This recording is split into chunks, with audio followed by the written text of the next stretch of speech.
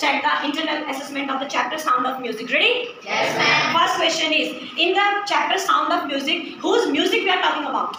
Whose music? Yes. But two marks, boys. Clap.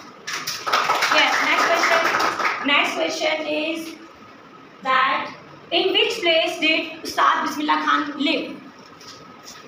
Yes. Very good. Two marks again. Dubra. Which game? Which game he used to play in the childhood? This, this, girls. Very good. Two marks for the girls. Gilly Danda. What is his father's name? This here. Here, here. Very good. Paigambar Bux. What is the name of his grandfather? That side, girls. Rasul Bux. Very good. On the bank of which river he used to do practice? Last bench. Ganges River. Very good.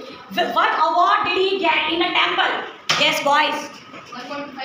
Very good. 152 kg. Good. Who banned the pungi? Who banned the pungi? Yes, girls.